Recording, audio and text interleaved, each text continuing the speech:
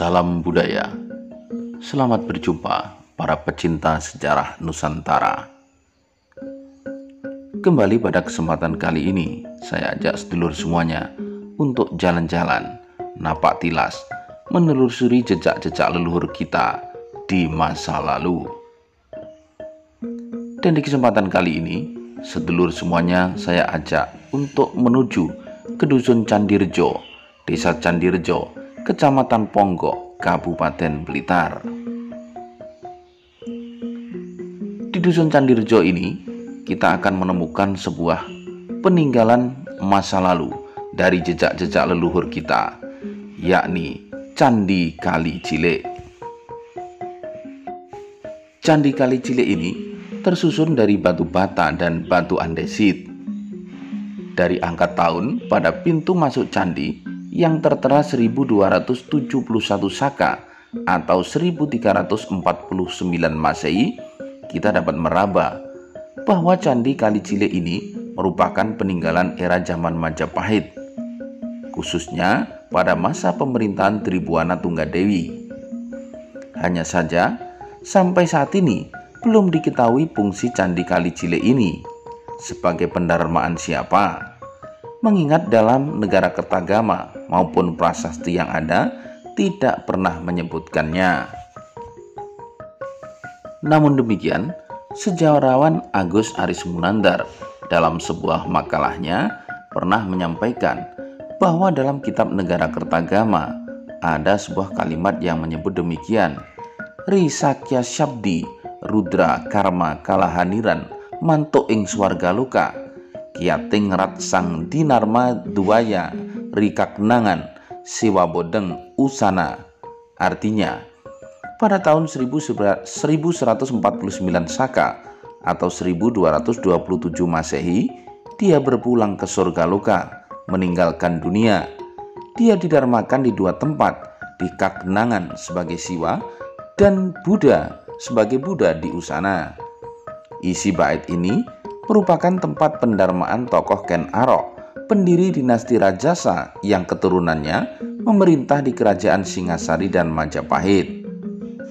Selain dalam kitab Negara Kertagama, juga disebutkan dalam kitab Pararaton, Rilinanira, Sang Amurwabumi, Isaka 1169, Siradinameng Kakenengan, artinya Sang Amurwabumi atau Ken Arok mangkat pada tahun 1169 Saka atau 1247 Masehi. Dia didarmakan di Kagenengan. Mengenai Kagenangan atau Kagenengan sebagai pendarmaan Ken Arok sebagai Siwa ataupun pendarmaannya di Usana sebagai Buddha, hingga saat ini belum dapat diketahui keberadaannya secara pasti. Akan tetapi, Candi Cilik ini pada awalnya ketika ditemukan disebut sebagai Candi Genengan. Ini tertera dalam tulisan Raffles dalam History of Java yang menyebut Candi Kali Cilik ini dengan nama Candi Genengan.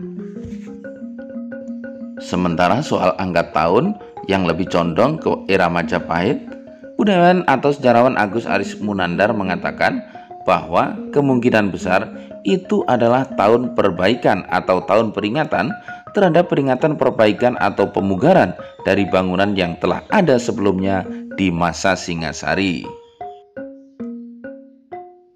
Seperti yang kita ketahui, Ken Arok atau kadang disebut sebagai Ken Angro adalah pendiri dinasti Singasari yang mana juga untuk selanjutnya diteruskan oleh dinasti yang berkuasa di Majapahit. Asal-usul dari Ken Arok sendiri sebenarnya masih menjadi tanda tanya dan perdebatan sampai sekarang. Namun diperkirakan Ken Arok lahir pada tahun 1182 Masehi dari keluarga petani yang berada di sekitar Sungai Brantas, Jawa Timur.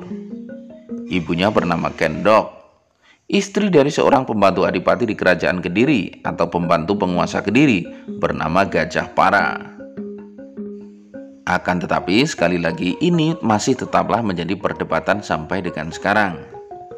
Yang pantas kita apresiasi dari seorang Ken Arok adalah keteguhan dan kesetiaannya pada cita-cita yang mana berhasil mengantarkannya pada kemuliaan tertinggi sehingga Ken Angrok bisa membangun kebesaran Tumapel menjadi Singasari pada tahun 1222.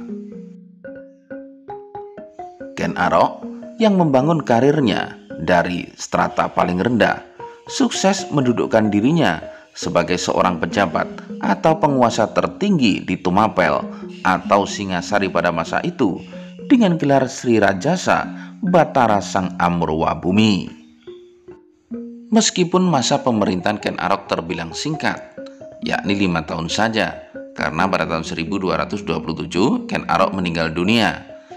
Akan tetapi, Ken Arok sudah mampu menancapkan tonggak awal dan dasar sebuah dinasti yang mana keturunannya akan menguasai tanah Jawa dan Nusantara ini sampai dengan ratusan tahun berikutnya. Tentang Candi Kali Cilik, benarkah di tempat ini abu jenazah dari Ken Arok didarmakan? Atau sekaligus bisa disebut sebagai makam Ken Arok biarlah waktu yang membuktikan. Tulisan Raffles dalam History of Java yang menyebut Candi Kali Cilik sebagai Candi Genengan yang kemudian dilanjutkan. Pendapat Agus Aris Munandar bisa jadi sebuah pemantik akan adanya diskusi-diskusi yang lebih lanjut maupun penelitian-penelitian yang lebih lanjut. Karena apa pun, sosok Ken Arok adalah sosok yang sangat berpengaruh dalam perjalanan sejarah Nusantara. Karena dari sosok Ken Arok inilah berkembang menjadi cabang-cabang keturunan yang semuanya masih eksis menjadi para penguasa keraton-keraton di tanah Jawa sampai dengan saat ini. Terima kasih sudah mengikuti video ini. Semoga menambah pengetahuan kita semuanya. Semoga bermanfaat. Salam budaya.